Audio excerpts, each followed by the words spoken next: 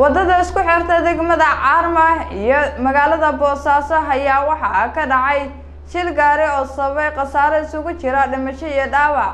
Sida uu warbixintaasi inoogu hayo waryahayaga maxamed yaasiin mahdi maxamed ee kaalfa inta u dhexaysa degmooyinka carmo iyo boosaaso ee gobolka bari ayaa waxaa ka dhacay shil gaari oo sababay dhimasho iyo dhaawac. Dhimashada ayaa la sheegay in ay tahay labo halka halka toban kalena ay waxyeelo ka soo gaareen. Gaarigaasi ku gadoomay inta u dhexaysa degmooyinka carmo iyo boosaaso shilka gaari ayaa la sheegay in uu yimid kadib markii laba baabuur ay isu dhaceen kadibna khasaare uu ka dhashay. Waxaana soo baxay in dadkii ku dhaawacmay loo qaaday cisbitaalada ku yaalla degmooyinka carmo iyo boosaaso ma ahan markii ugu horeysay shil noocan oo kale uu ka dhaco deegaanada uu ka armiyo maamulka puntland mana jirto hadal weli ka soo baxay maamulka puntland oo ku aadan kala xadaynta baabuurta mara waddooyinka maamulkaasi. Maxamed yaasiin maadi maxamed kalfa africa cable t v jowhar